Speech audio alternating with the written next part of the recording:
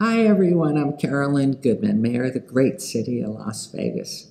This is Breast Cancer Awareness Month, and it has special meaning for me as a two time cancer survivor, chemotherapy, radiation, lumpectomies. It is so important that we all make sure we are doing everything we can to spread the word for people to self examine, to go ahead and get the word out for education so we stop this disease. Our Nevada Cancer Coalition is working hard to make sure the word gets out.